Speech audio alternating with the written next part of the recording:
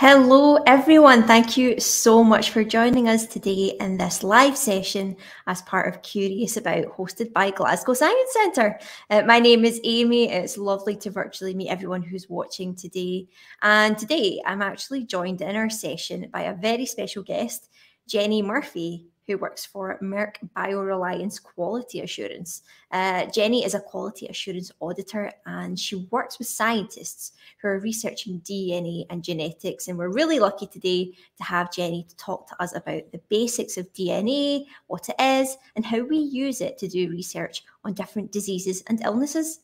Now, today, as you go through the session, if we have anyone who's watching on YouTube, please get your questions submitted using the chat box over there. We also do have some questions that we've got ready that have been submitted by pupils in advance of the session from schools across Scotland, which is very exciting. And we'll try to get through as many questions as possible in our session today.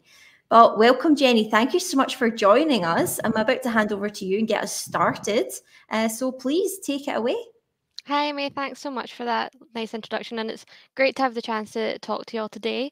So, today I'm just going to do a very brief introduction for you to DNA. First off, I would start with a couple of wee fun facts about myself. So, my name's Jenny Murphy. Um, I have been part of the RAF Volunteer Reserves while I was at university, while I was studying. Learned a lot of things. It was an amazing opportunity. I also um, spent a few months a few years ago in Borneo, which is in Indonesia on the other side of the world, in a jungle. Uh, we did a lot of planting trees, uh, watching some of the animals in the local area. So I've put up just a couple of pictures there as well to sort of show the kind of area I was in. But yeah, just some fun facts to give a wee introduction, but we'll get into it. So to start off, I thought I'd say a wee bit about what is DNA. So DNA is the material that carries all the information about how a living thing will look and how it will function. For instance, DNA in humans determines such things as what color the eyes are, how your lungs work.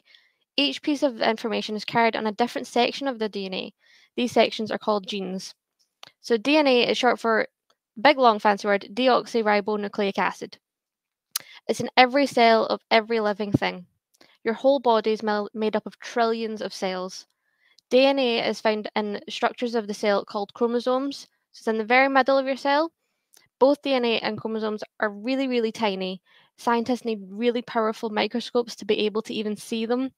You can't see them with just your eyes, they're so, so tiny. But the functions um, of your DNA so when DNA works correctly, it helps to keep the body functioning properly. DNA helps to make the substances, it helps to make substances called proteins which the cells need to live. To be able to function, they need proteins. Your DNA helps to make these proteins. DNA also allows living things to reproduce. So, certain sections of DNA are called genes, which DNA pass along physical traits from parents to children. So, your parents pass along genes to you. Sometimes there can be mistakes in DNA, though, so these are called mutations. They can cause diseases and other problems. So the structure of the DNA is a very complex structure. It's made of chemical substances that are linked together like a chain, and each piece of DNA has two strands or chains. So these two strands are joined together. As you can see in the corner of my slide there as well, I've got a wee picture to sort of explain the structure of it. So uh, these form a shape kind of like a ladder, but this ladder is twisted round. So you can see that in the image. So that's the sort of 3D picture, it's all twisted. It's a ladder with two lines and bits in between. There's chemicals called phosphates and sugars make up the sides of this ladder, but DNA also has chemicals called bases. So each base on one strand is joined to a base on the other strand, and that forms like the steps in your ladder. So on each side, you have a letter, you have one of these bases. There are four different bases in your DNA. You have adenine, thymine, guanine, and cytosine, but we normally just shorten these to A, G, C, and T to make it a lot easier for everyone to understand. Um, these four letters are repeated in different orders over and over again. So it's all DNA is for is basically these four letters over and over again in different orders. Human DNA contains about 3 billion pairs of these bases. So you have one on each side, 3 billion times is human DNA. The order in which these bases are arranged is very important. It forms a code that tells the cells to make certain kinds of proteins, which I said before, your cells need to be able to function. The differences in these proteins is what makes different living things, such as a cactus, a gerbil, two different people different. It's what makes everyone different. I'll just go on to my next slide.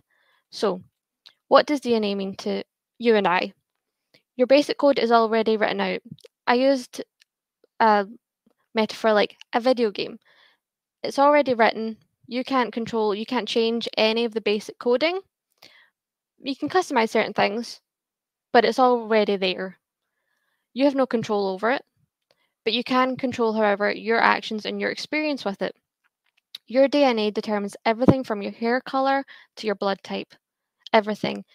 DNA, genes, and chromosomes, they all work together to make you who you are. Chromosomes carry your DNA in your cells, and your DNA is responsible for building and maintaining your human structure. Your genes are sections of your DNA which give you physical characteristics that make you unique. Together, your body has a complete instruction manual that tells each one of your cells how to behave. It can even have a massive impact on your height and your weight. You wouldn't think of these things. These can also be affected by lifestyle, but they're mostly determined by your DNA. About 99% of the DNA in every person on the planet is exactly the same to every other human person. So that 1% is the difference that makes each person unique. Every single person has their own DNA and is entirely unique just from that 1%. It's a tiny little fraction, tiny little bit, but it can make it accounts for all of the variation in all of humans. But then you also have that same, that's all just four letters, that same four letters, humans, but also vegetables, trees, plants, all four letters. That's all, all, all that it is.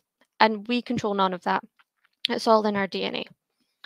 So I'll go on to my next one. So I thought I'd go into a wee bit about why do we age? So, our, for our cells to be able to heal, they constantly have to divide and duplicate themselves. This includes the DNA within those cells. A lot of your DNA, like I said, there's a lot of bases, there's a lot of it. A lot of it doesn't do anything, a lot of it is junk. It doesn't code for any specific function. But this is important because as your DNA duplicates and divides itself, it gets shorter uh, each and every time. So this can cause um, errors to happen. This can you get DNA has a lot you have a lot of junk DNA, but this isn't code. So this acts as a safety to allow for this duplication to happen. And so every time you get shorter, you've got this safety barrier. So then it takes a long time, actually takes years for any damage to occur from this shortening happening at the ends of your DNA. When your cells divide, they hand they basically handwrite your body's instruction manual by copying the original document word for word. It's like writing a sentence over and over again. Mistakes happen. There's lots of room for error because your ce- your cells they might skip a page, a chapter, or misspell some words. If you have an error, this is known as a genetic mutation. Your instruction manual gives your body the wrong directions, basically.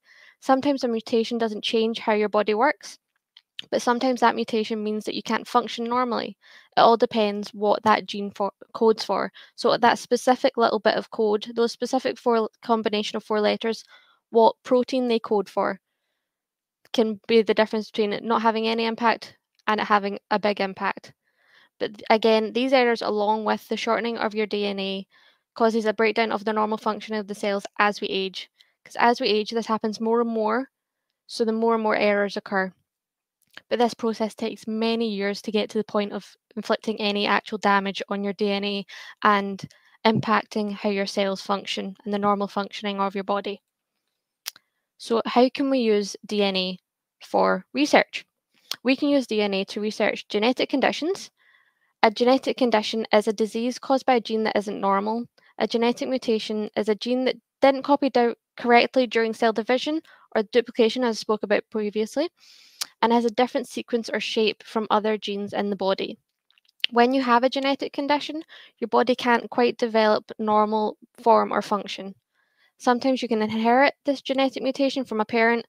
Sometimes the gene mutates randomly in you with no history of a mutated gene or the genetic condition in your family. It can just happen by chance. There are thousands of genetic conditions that exist, but we can use what we know of DNA to research the chances of a child getting um, a mutation or a condition. We can use it to research different treatments and medicines. So that's where we come in, in as well with what I do a wee bit. So the work I do, uh, I work with some scientists. We run tests on samples sent to us by researchers. They need us to confirm that the code that they're using for their research is the right code that they're looking at. So the right combination of those four letters that's repeated over and over again. They'll send us little samples and we have to say, yes, you're looking at the right combination for the kind of medicine or treatment you're researching. For a new medicine or treatment to be used on people and patients, they need to go through a lot of tests and checks to make sure it won't cause any harm to people, because that's the last thing you want to happen. We perform some of these tests that need to be done before they can be used on people. So, in my role, uh, in my quality insur- assurance role, um, I ensure that the testing that we carry out on the code and the samples that we are sent has been carried out correctly and along with any instructions that we already have in place. I make sure that this has been done exactly right and there's been no issues.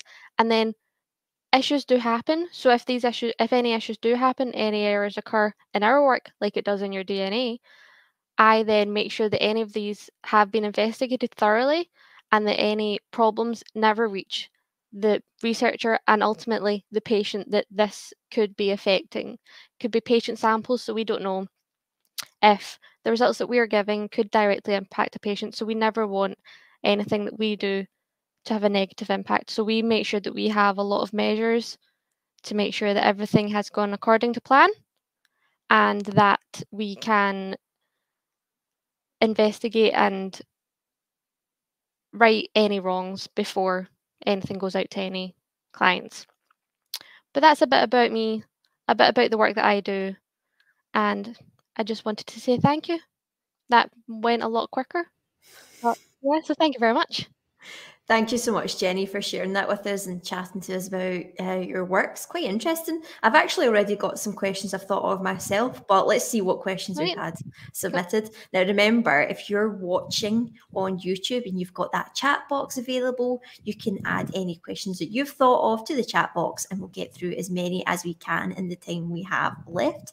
And I think we've got our very first question coming up for Jenny and it comes from Lauriston Primary, Primary 6A. Thanks so much, Lauriston Primary. They're asking when you're born, do you add new DNA to your family line or is it all just passed down? Interesting. Thanks, Amy. No, that's a really that's a really good question. So you don't add DNA. Basically, you get half of your DNA from your mum, half of your DNA from your dad, and those two are combined.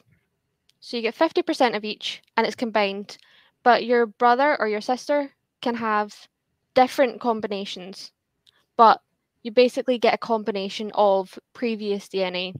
You don't create, you can get different errors that have occurred throughout your life or that have happened throughout your parents' life. You could inherit those errors, but you never add DNA.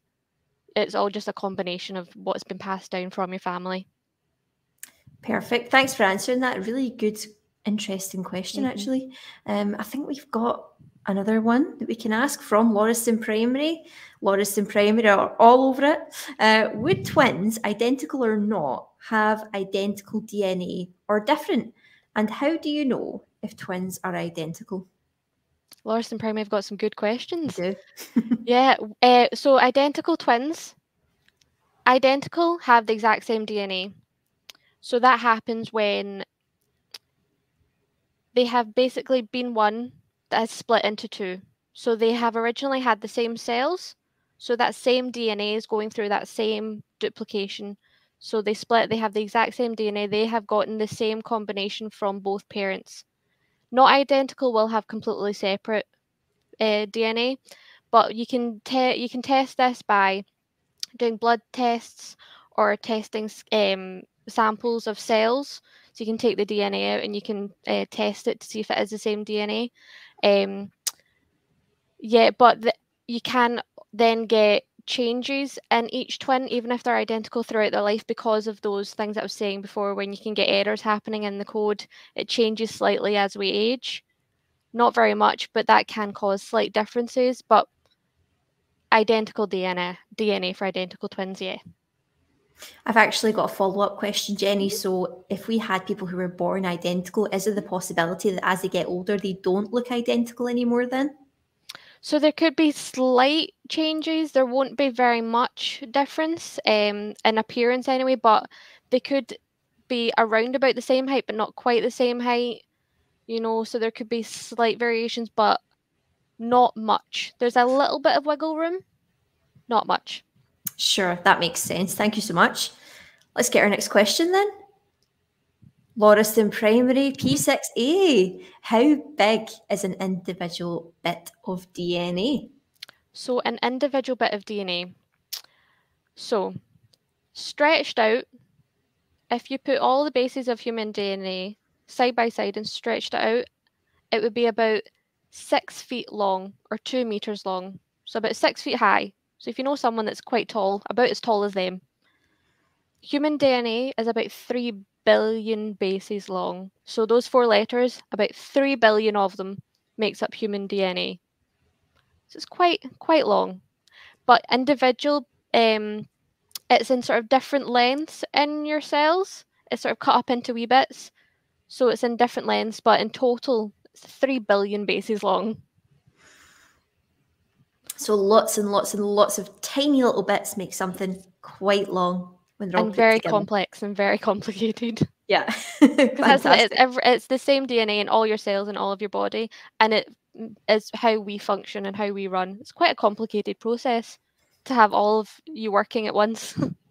For sure, we're complicated beings, definitely. Yes. Let's get our next question up then. So, oh, where is DNA in our body? Of course. So it's in everywhere. It's in all of your cells. So your cells make up every little part of you. You can't see them with the with your just your eye. You need a really powerful microscope to see it, but it's in every single one of your cells. And inside your cells is a nucleus, and in the center of that is your chromosomes, and then that's where your DNA is. So it's like a it's like nesting dolls. It's within, within, within. Fantastic. Yeah, you've got some really good ways of thinking about this, Jenny. You're helping me visualize it in my in Thank my you. head. Fantastic. I'm glad I'm glad I'm able to sort of explain it well then. Excellent. Yeah, let's see our next question. Actually, see what uh, what we mm-hmm. can get you to explain now. which living things have the most similar DNA to us, and which have the least similar? Interesting. Okay, so the most similar uh, animal is a chimpanzee it has about 96% of the same DNA. So the same code we have about 96% similar.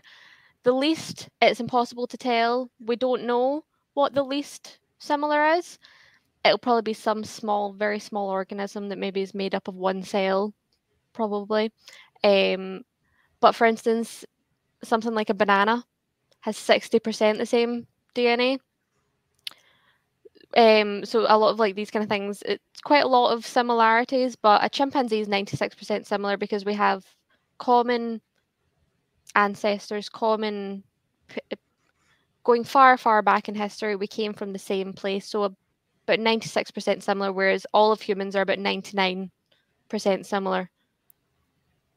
That's an amazing fact that you've just thrown at us there that we're 60% similar to a banana. Yep Mm-hmm. That's that's incredible. I can't wait to to share that with everyone that I know. Yep. Fantastic. Excellent. Let's see if we've got another another question for Jenny. Oh, I think we've we've kind of touched on this one a bit. Can your DNA change as you get older? Yeah, it does a bit. So it it doesn't change change, just there'll be slight little mutations, slight little errors, it'll get a wee bit shorter but overall it doesn't change. So, for instance, your eye color is not going to change. You know, there's certain things that will never change. There'll just be tiny little mutations and tiny little differences will happen as you get older. Yeah, fantastic. Um, yeah, I think um, the the thing about your eye color being different from other people and your hair color, you know, that's something that sticks with you. It's really interesting to sort of look at the differences between us and mm-hmm. know that mm-hmm. we're so similar, but we all look so different. It's it's amazing yeah. for me to think about. Absolutely. And it's one percent of a difference as well. Yeah. And that accounts for every every difference in every person. One percent. Yeah, it's amazing Tiny to think about. Yeah. Mm-hmm. Fantastic. I think we've got a couple more questions that we can we can ask Jenny. So can we oh this is an interesting one. Can we mm-hmm. change the dna that's in someone's body to help them if they are actually ill? It's a really good question and it would be amazing if we could but because it is in literally every single one of your cells it'd be impossible to be able to change it in every single cell. It'd be great if it was in just one place and then you could just change that and that changed it in all of your cells but there's no way of of really been able to change every single cell.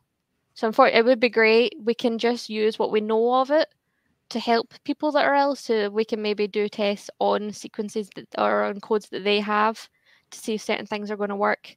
But unfortunately, no, you can't. We can't change DNA. Mm-hmm. We've not got that power yet, anyway. you never know. And actually, yeah. that question has made me think about, for example, when people go to give blood, they donate blood to help others who are ill or they donate mm-hmm. stem cells. Is there restrictions on that because we all do have different DNA? Yeah, that's a really good question actually. So for blood, um, there are certain restrictions. So you can only receive blood of similar of someone with a similar blood type. So similar to DNA, there is only certain. Uh, I say similar to DNA, but there's only certain um, blood types you can be. Um, you can only receive certain blood types, but there's type O. This going off topic, but there's a type O which is uh, there are certain ones that are anyone can get, and there's one type that anyone can receive. But yeah, you do have to know a wee bit about what the person is to be able to get a certain one. And then with stem cells as well, you need to a lot of testing needs to happen to be able to make sure that they are a match because certain things will have to match up with their DNA and with their coding to be able for it to work, for it to do any good. Yeah. Yeah, absolutely. Really interesting that um yeah, you have to look really closely to make mm-hmm. sure we're enough of a match. Amazing. I think we've got a couple more questions that we can ask as we approach the end of our session today. So our next one is Oh, can you tell us a bit more about your journey to where you are now? Let's hear a bit about you. Sure. So, um, yeah, all my life I have been very interested in sciences. I was always the kid that would want, you know, the little microscope set from Christmas and want the little science kits and things. Um, yeah, no, I went through uni, university, studied. I studied applied biosystem, uh, applied bioscience at um, at university, got my honours degree. Um, I actually started working in a lab after university, um, where we made.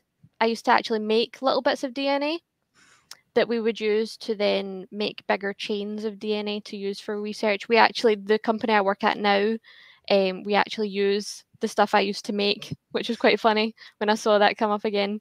Um, so I used to work in a lab where I used to make DNA, and then I moved into actually sales. So I sold some of the um, chemicals and things that uh, researchers would need to do some of these testing and to do some of this research. And then that's when I came over to the role here to work with our scientists at Merck. Thank you so much for for sharing that with us. Everyone's got really different journeys. Yeah. Um, to get to where they are. So it's just really interesting to hear about yours. Fantastic. Do you know, Jenny, we've got one more question for you in our session today, and then we'll wrap up. And oh, it's a live question, which is what advice would you give to someone looking to work in life sciences in the future? That's a really good question. You know what I find really good is watching documentaries about different aspects of science. It's a good sort of introduction because it can be quite overwhelming if you like look up stuff online or if you want to look at a course or you want to learn more it can be very there's a lot of information out there but i think some of the documentaries that you can get you can watch are really interesting and offer really good insight And you can always just reach out and ask, you know, especially people at the Science Centre. You know, it's a really good tool to go and ask people there as well. But yeah, no, I would say I love all these kind of like science documentaries and nature documentaries because there's a, such a vast array as well. You can watch so many different kinds and really find what you're interested in because there's science is such a wide subject. So you can sort of pick out little subjects that you find interesting and then research more on that and then really see and talk to your teachers as well you know they might know of you know routes that you can go down or they might have advice for you or you know can help you towards that path as well yeah. Absolutely. Yeah, you're so right. There are so many different people that are really happy to talk to anyone who's interested in getting into sciences, whether it's reaching out to um, people like ourselves at the Science Centre or, like you say, speak to the adults around you and um, get their advice and uh, let them sort of give you um, hints and tips on mm-hmm. how to follow your passions. But thank you so much, Jenny, for joining us thank today you. and sharing all of that with us. That's been really great to hear from you and chat all about your work. Um, and of course, thank you to our audience for your brilliant questions. But I'll say goodbye to Jenny for now. Thank you so much.